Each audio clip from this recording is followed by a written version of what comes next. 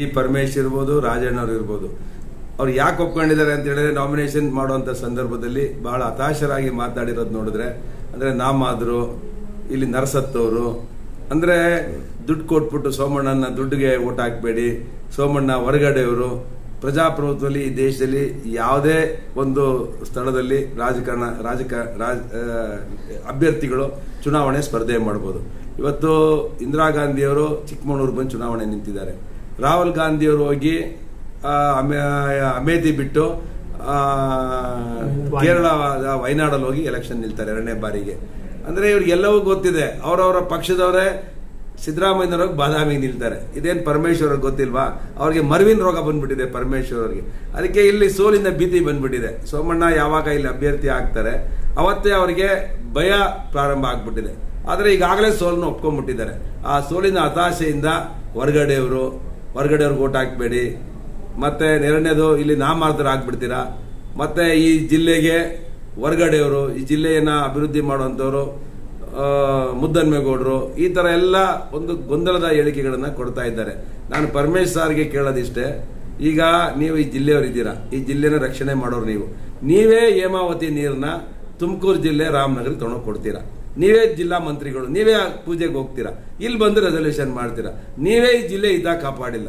ನೀವೇನಾದರೂ ಹೇಮಾವತಿ ನೀರನ್ನ ನಿಮ್ಮ ಕೊರಟಗೆರೆಗೋ ಅಥವಾ ಮಧುಗಿರಿಗೆ ತಗೊಂಡೋಗಿದ್ರೆ ನಮ್ದೇನು ತಕರಾಲಿರಲಿಲ್ಲ ಈ ಜಿಲ್ಲೆ ನೀರನ್ನ, ಈ ಜಿಲ್ಲೆ ಹಂಚಿಕೆ ಆಗಿರೋ ನೀರನ್ನ ತೊಗೊಂಡೋಗಿ ರಾಮನಗರಕ್ಕೆ ಕೊಟ್ಬಿಟ್ಟು, ರಾಮನಗರ ಜಿಲ್ಲೆ ಕೊಟ್ಬಿಟ್ಟು, ಇಲ್ಲಿ ಬಂದು ನೀವು ರಾಜಕಾರಣ ಮಾಡ್ತೀರಾ? ನೀವೇ ಈ ಜಿಲ್ಲೆಯಿಂದ ಮತದಾರರ ರಕ್ಷಣೆ ಮಾಡಿಲ್ಲ. ಇನ್ನ ಬೇರೆದೇನು ರಕ್ಷಣೆ ಮಾಡ್ತೀರಾ?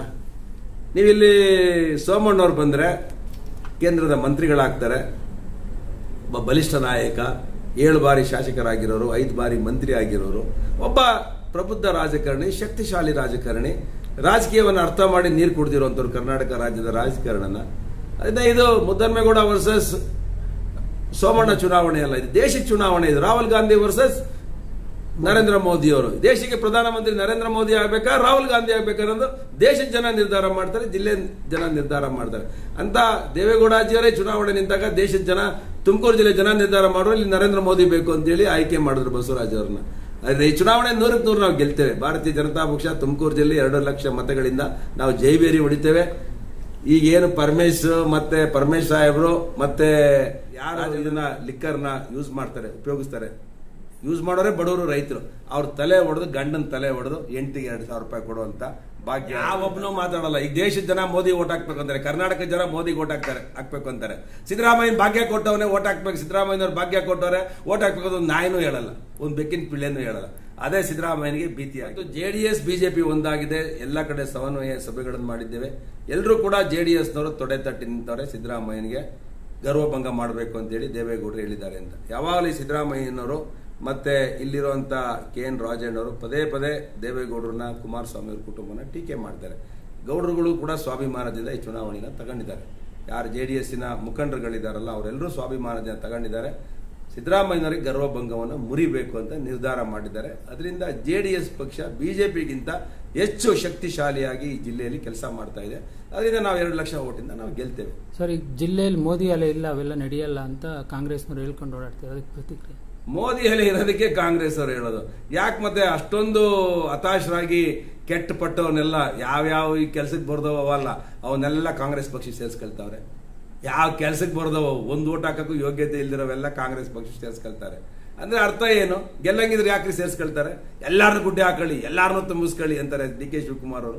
ಯಾರ್ಯಾರು ಬರ್ತಾರೆ? ಒಂದು ಓಟ್ ಬರೋನು ಸೇರಿಸ್ಕೊಳ್ಳಿ ಅಂತ ಯಾಕ್ರಿ ಭಾಗ್ಯಗಳು ಎಫೆಕ್ಟ್ ಆಗಿದ್ರೆ? ಯಾಕ್ರಿ ಜೆ ಡಿ ಎಸ್ ಅಲ್ಲಿ ಚನ್ನಪಟ್ಟಣದಲ್ಲಿ ಸೇರಿಸ್ಕೋಬೇಕಾಯ್ತು? ಯಾಕ್ರಿ ತುಮಕೂರು ಗ್ರಾಮಾಂತರದಲ್ಲಿ ಗೌರಿಶಂಕರ್ ಸೇರಿಸ್ಕೋಬೇಕಾಯ್ತು? ಯಾಕ್ರಿ ತುಮಕೂರಿನಲ್ಲಿ, ಆ ಗೋವಿಂದ ಗೋವಿಂದರಾಜ್ ಸೇರಿಸ್ಕೋಬೇಕಾಯ್ತು? ಅಂದ್ರೆ ಇವ್ರಿಗೆ ಇಲ್ಲಿ ಸೋಲ್ತೀವಿ ಅಂತ ಭೀತಿ ಬಂದಿರೋದಕ್ಕೆ ಅವ್ರನ್ನೆಲ್ಲ ತುಂಬ್ಕೊತಾವ್ರೆ ಖಾಲಿ ಡಬ್ಬಗಳನ್ನ.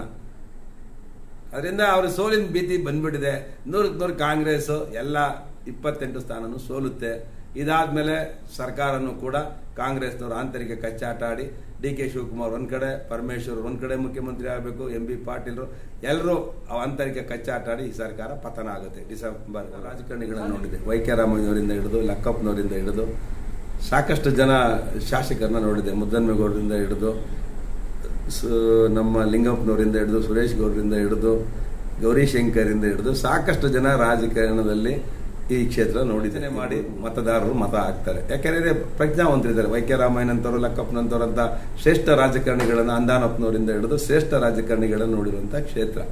ನಾನು ಮತದಾರರಿಗೆ ವಿನಂತಿ ಮಾಡೋದಿಷ್ಟೇ ಇದು ದೇಶ ಚುನಾವಣೆ. ಇದು ಮುದ್ದನ್ಮೇಗೌಡ ವರ್ಸಸ್ ಸೋಮಣ್ಣ ಅಲ್ಲ. ಇದು ನರೇಂದ್ರ ಮೋದಿ ವರ್ಸಸ್ ರಾಹುಲ್ ಗಾಂಧಿ. ಯಾರು ಪ್ರಬುದ್ಧರು, ಯಾರು ಶಕ್ತಿಶಾಲಿಗಳು, ಯಾರು ಬಲಿಷ್ಠ ಭಾರತವನ್ನು ಕಟ್ತಾರೆ, ಅಂಥವ್ರಿಗೆ ನಿಮ್ಮ ಅಮೂಲ್ಯವಾದ ಮತ ಇರಲಿ.